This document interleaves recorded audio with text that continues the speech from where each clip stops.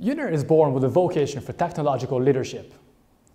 Our university has a particular e-learning methodology with innovative management tools that allow us to virtually manage the university, including educational digital television through the internet and Web 2.0. UNIR has developed its own virtual campus, which replicates the conditions of the classroom through the use of new technologies.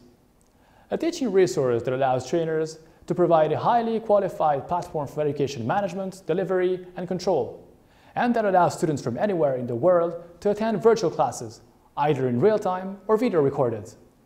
UNIR also has virtual classrooms that allow students to see the teacher, to listen to him, and to listen to issues raised by the group, which allows participants to get to know each other and share knowledge.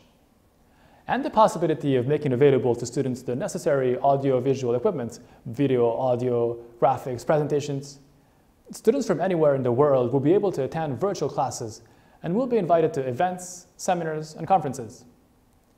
UNIR also incorporates Web 2.0 tools to knowledge. As opposed to the traditional information model, Web 2.0 thrives on content that is generated by users who have the tools to edit, create, and publish their own multimedia content and to invite others to participate. The use of these tools allows our educational model to be based on personalized education in an environment of communication, interaction, participation, corporate work, creating a meeting point where people can work together, share resources, ideas, build knowledge, and spread it. Easy to use and often free tools that don't require you to install any complicated applications or having to upgrade them.